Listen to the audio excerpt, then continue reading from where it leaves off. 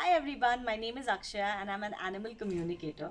And as a communicator, I'm often asked if we can actually speak to trees and plants. And the answer is yes, we can.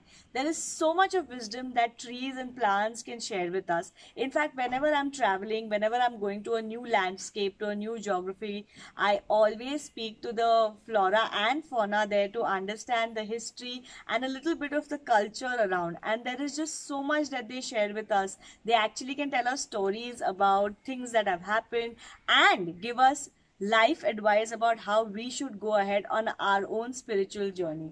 So trees are beautiful guides and we just need to take off time from our busy schedules, connect with them and they are more than happy to guide us and help us and talk to us and share such wonderful stories with us. So next time you are out, do take off time to just talk to a tree, hug it out and also understand how they live their lives and how we can live our lives better with their advice.